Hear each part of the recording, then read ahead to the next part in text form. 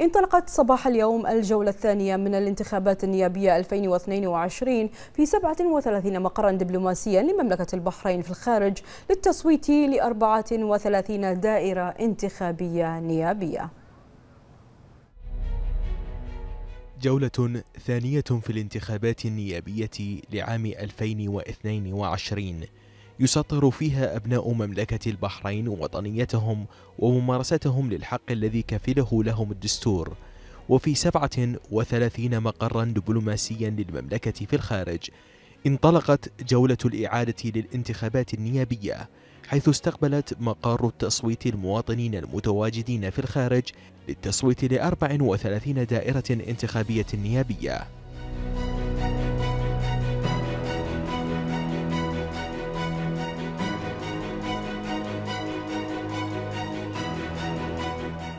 في البداية نتقدم بخاص تهاني والتبريكات لسيدي جلالة الملك المعظم حفظه الله ورعاه وسيدي سمو ولي العهد رئيس مجلس الوزراء حفظه الله ورعاه. آه، مناسبة النجاح الكبير للعملية الانتخابية والبلدية وتسجيل أكبر نسبة مشاركة في تاريخ مملكة البحرين.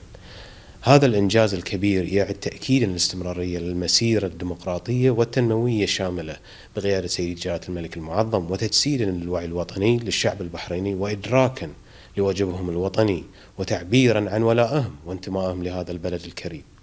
الحمد لله آه، انتخابات الإعادة جرت اليوم في أجواء هادئة وبتنظيم دقيق آه، سادها روح الوطنية اليوم بدأت عملية الاقتراع آه، الثانية في مقر سفارة مملكة البحرين بدولة الكويت وسرت على ما يرام بكل سلاسة ويسر حيث توافد الكثير من المواطنين لإعادة التصويت في بعض الدوائر التي احتاجت إلى إعادة الانتخابات.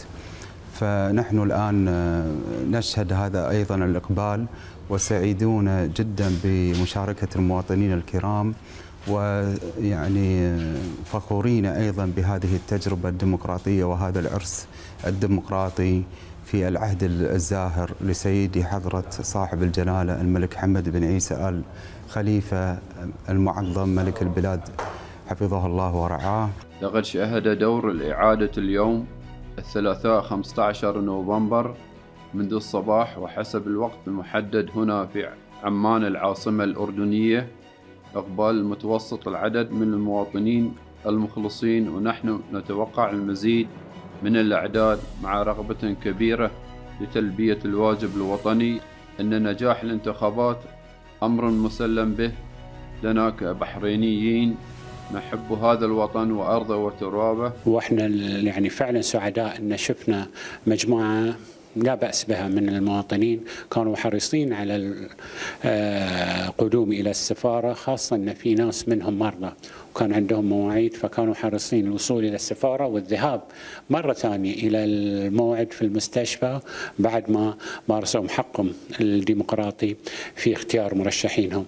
واللي كذلك صار أن في ناس عندنا جاوا من مناطق بعيدة في ألمانيا إن كانت في هامبورغ إن كانت في بريمن وفي ناس من دول ثانية نغطيها وهذه حدث كذلك في الجولة الأولى. ناس من تشيك وناس من بولندا. وإحنا كلنا كبحرينيين فخورين جدا بالنسبة خاصة المشاركة اللي فاقت 73% في الجولة الأولى. ومن الساعة الثامنة صباحا حسب التوقيت المحلي للمدن التي توجد بها مقار التصويت وإلى الساعة الثامنة مساء يثبت البحرينيون في إقبالهم للتصويت وعيهم بحقوقهم وإيمانهم بالمسيرة الديمقراطية لمملكة البحرين. يعني الحمد لله رب العالمين الجماعة ما قصروا في السفارة ويعني هنيئا لشعب البحرين في هذا العرس الانتخابي. والأمور ميسرة ومسهلة الحمد لله.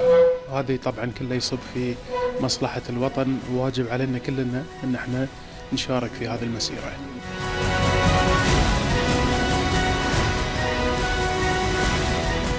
أبناء البحرين يسطرون أسمى الصور في الانتماء للوطن وفي سفارات المملكة حيث يصوتون هم سفراؤنا للعالم أجمع سفراء للبحرين بممارستهم الحضارية لحقوقهم الدستورية.